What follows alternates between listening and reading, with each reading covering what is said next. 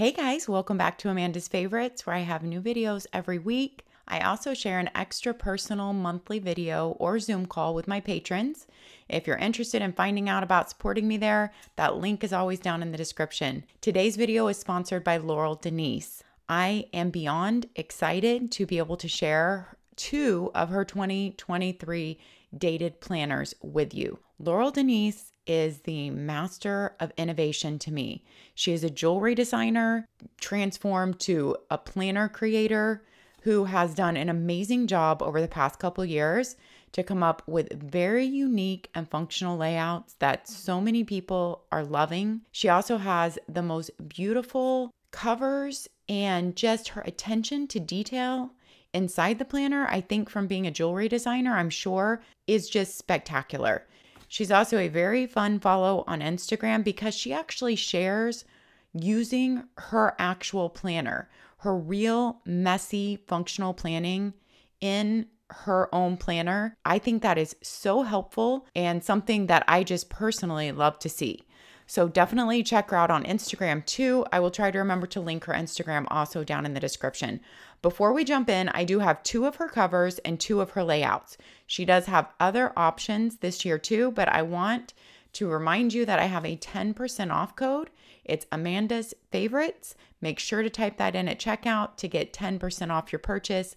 I also am an affiliate with Laurel Denise, so I would really appreciate you clicking through my affiliate link to get to her website. I really appreciate your support in using my affiliate links. All right, guys, let's jump in here.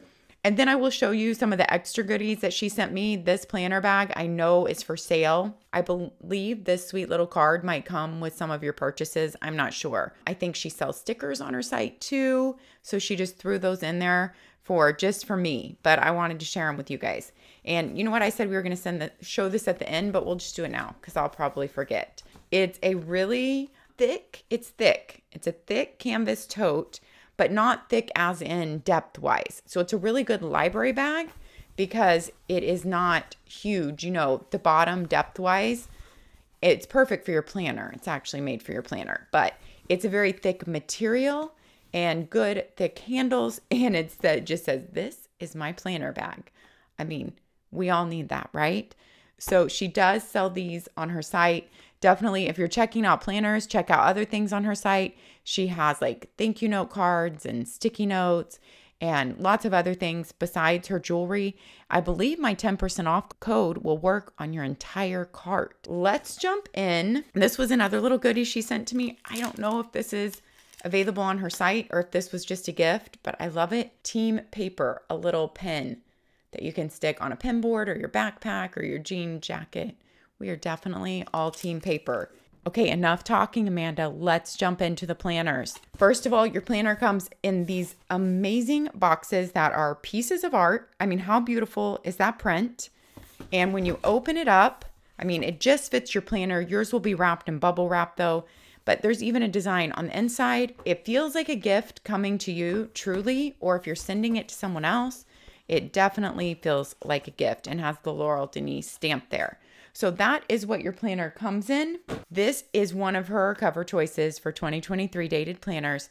This is in her vertical weekly edition. She has not done a vertical dated until now. I did review her first vertical undated in my last video. I'm going to link that down in the description because we also have in that video a teacher planner and it's a different layout that some of you guys might even want to use if you're not a teacher. I will try to remember to grab those planners up at the end and just show them to you real quick. If I don't remember, that video will be linked down in the description because both of those planners are still for sale on her site right now. One is undated and the teacher planner is discounted because it's dated. Look at the inside cover. I am in love with this rust color lately and rust and navy Totally in love with it. Okay, we're going to get into that planner. But next, let's unbox this one. I'm just so in love with the colors. So these are the two planners we're going to look at today. Now, I have done most of all my pen testing and everything in the horizontal one.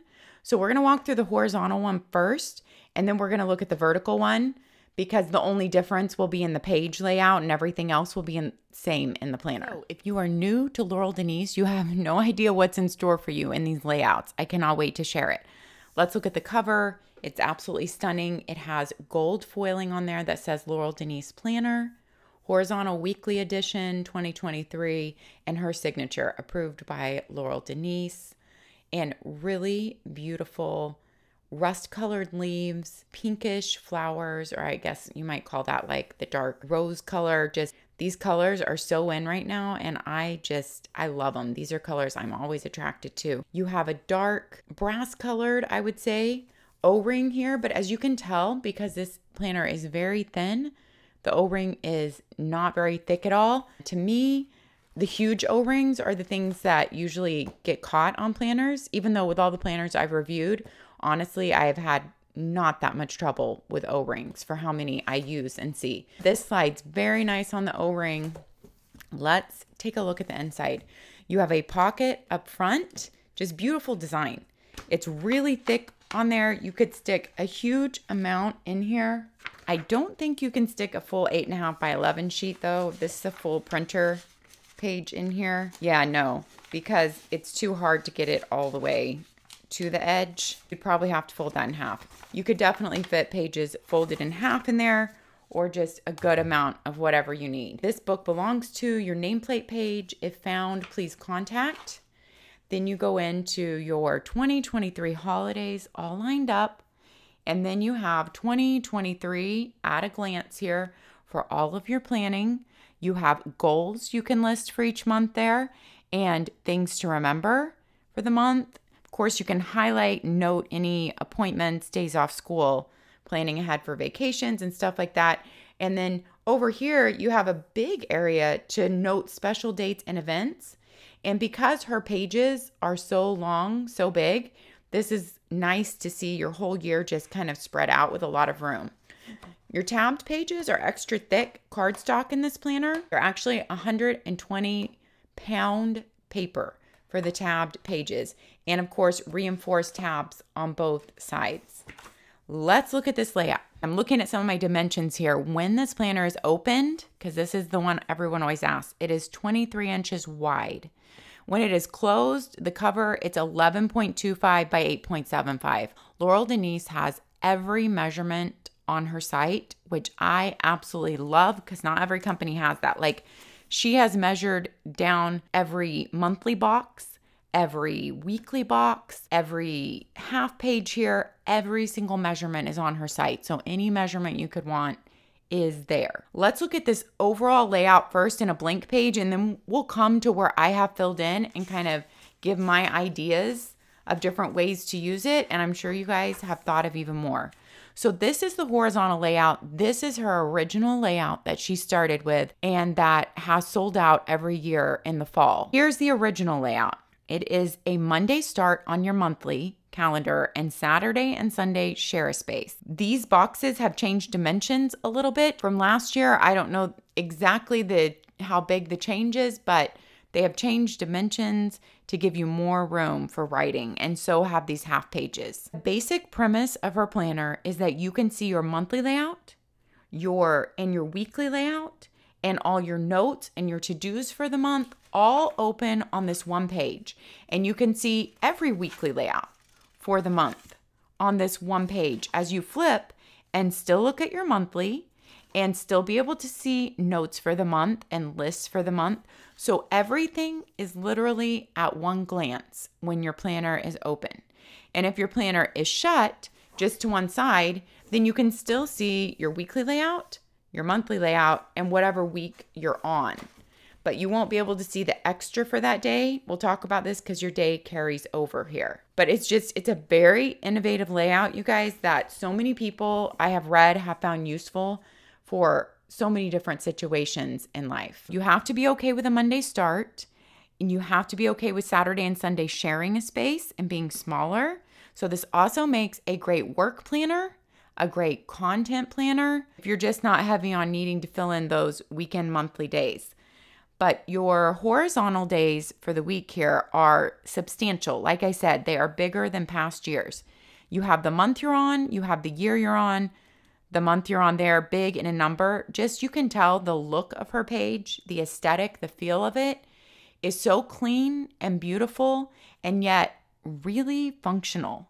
And you will see how she is like a functional planner. She highlights all over, time blocks everything. That's in the vertical layout. That's next. I just love seeing her use her own planner in that way. So now you've seen the main layout. You have your days of the week horizontally, and your day continues over here.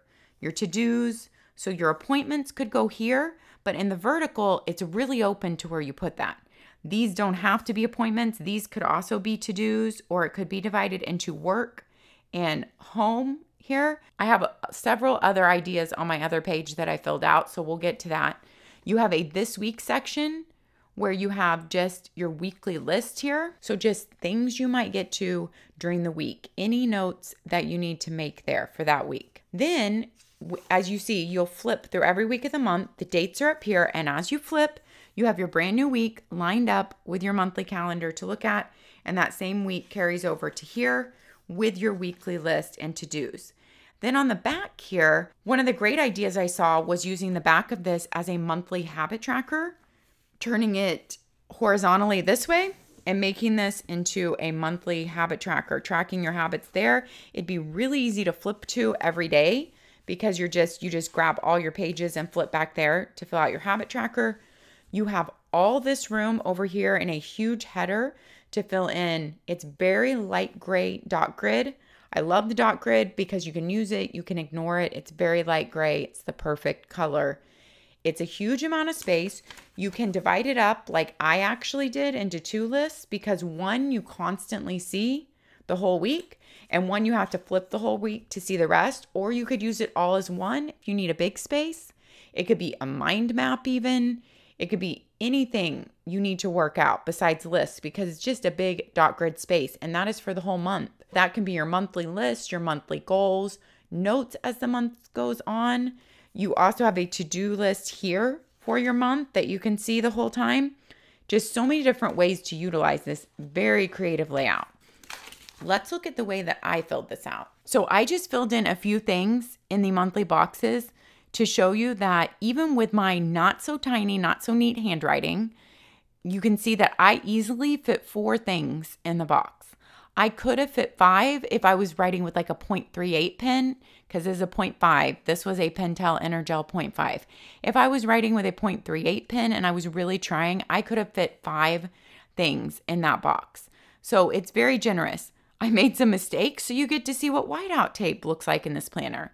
I mean, it really wouldn't be me if I didn't make mistakes in there. But that is what real planning looks like. That's at least what my real planning looks like. Then for the weekly layout, this is how I personally would use it. And I know people have told me they like to hear my ideas, and then it spurs other ideas for how it will work in your life. I would write my main things for every day going down. You guys, it's hard to make up things for a week, like thinking into January. So I more just wrote things that were coming up right now in my week. This is how my week would look at the start. As it goes on, it would get much more filled up, just like my planner always does but Tuesday's kind of heavy on things. Appointments, I would definitely highlight so that they stood out. And then my idea for this side, so those would be my main things to get done on that day. On this side, you could use it for meal planning all the way down. Now, I don't know if this would work for everyone. You could use your first page of the first week of the month for like meal planning. So you could always use this other side for meal planning. If you always needed meal planning for your week, this could be your meal planning. This side could also be for your top three. Then you could, you know, go and look all what your day holds and be like, what are my top three going to be? And then over here, you would just always be able to look and know your top three to focus on, but you would still be able to see the whole list over here and be able to look over here for the top three. Or you could write one focus thing for the day, which I often like to do. Like you look at all what your day holds and then you write the one focus thing, the one thing you want to get done first and focus on. Like that would be your focus for the day. Or just write one big thing that if you get it done, like your days of success, you could write your workouts in here. So this could be your to dos, this could be tracking workouts down here. You could write a gratitude here every day. So if you don't need this extra side for more to dos, these are just my ideas for how to use them. Gratitude down there, or you could write kids, work, or activity schedule down here. So it would be like your teenager's work schedule. You'd always be able to just look over here from the day and see their work schedule or their active all your kids' activity schedule. I think I did one of those up. Here's where I did a workout schedule. There's all your workouts lined up for the week. Here's where I did a kids schedule where you might have soccer one day, piano one day, someone going to Tim's house one day, and then you could still fit in meal planning on there because meal planning doesn't have to be the only thing, take up the whole thing. So this could be like kids schedule and meal planning, could be your workout schedule and meal planning. This layout lends itself to using it in so many different ways.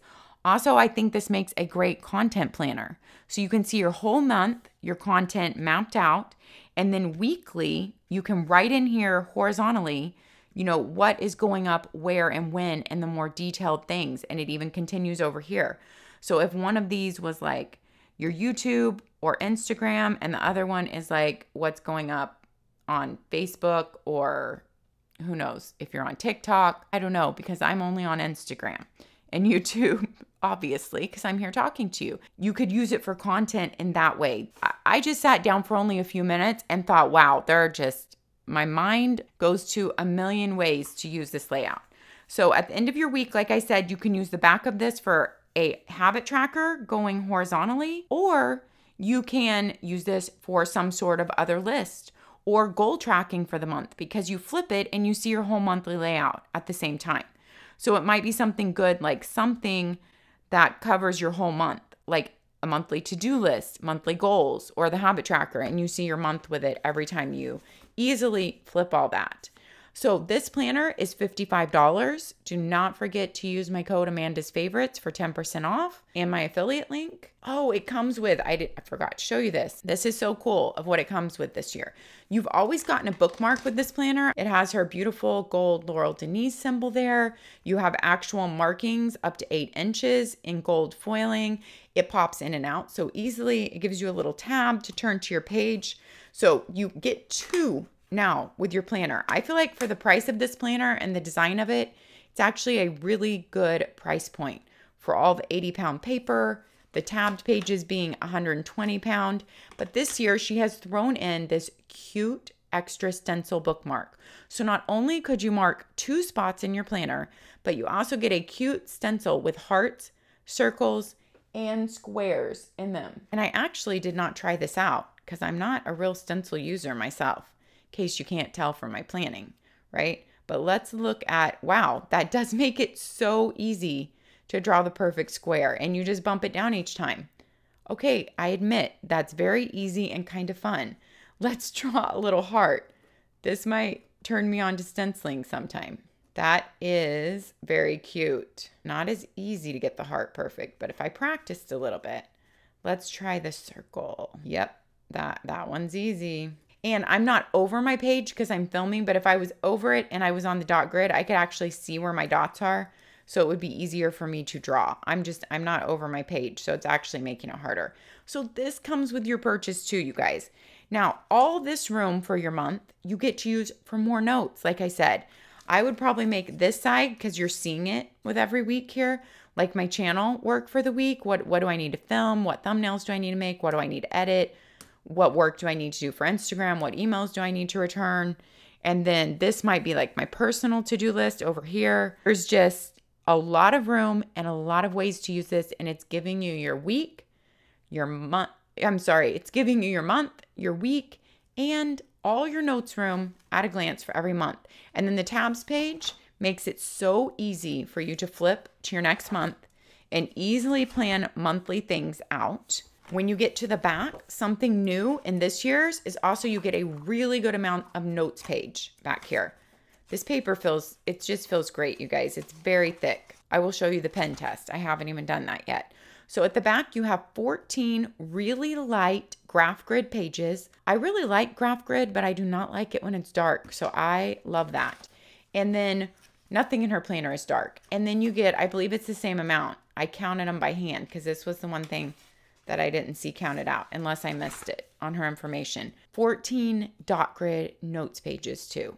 So you have a total of 28, okay, of these huge note pages, you guys. So I told you the overall dimensions of the planner, but just your page is like 10 and 3 quarters inches by eight and a half. That is a huge amount of space, you guys.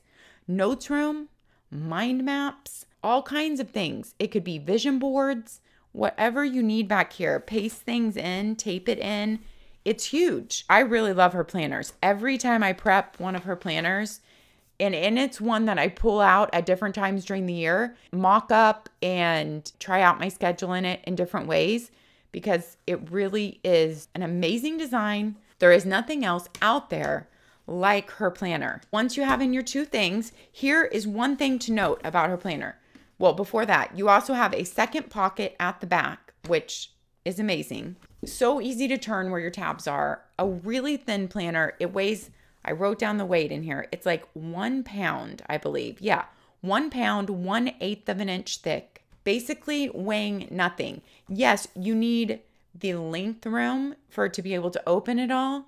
But if you need to like take this with you, it is very lightweight.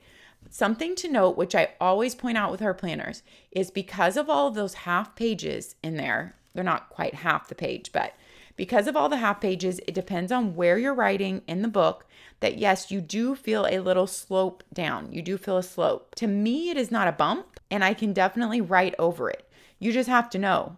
You may never do your writing right there though, because for me personally, I would be dividing my list right there. So I would be having one list here and one list here, and I wouldn't have to write all across the slope, the little bump. But it is totally doable, at least for me. Maybe if you're a perfectionist, maybe not. But making two lists, I feel like it is. And that is just the one thing that you have to have if you're going to have this innovative design is that little slope bump. And depending on where you are in the planner, you know, it's bigger at different times. So that's the basic layout of the planner. Now we are going to look at the vertical weekly edition, which you can use as a timed edition. Laurel Denise, this is the one she uses for herself now because she came out with the undated version of this. I shared this in a video earlier this year, and she still has some of these left. She said, not a lot.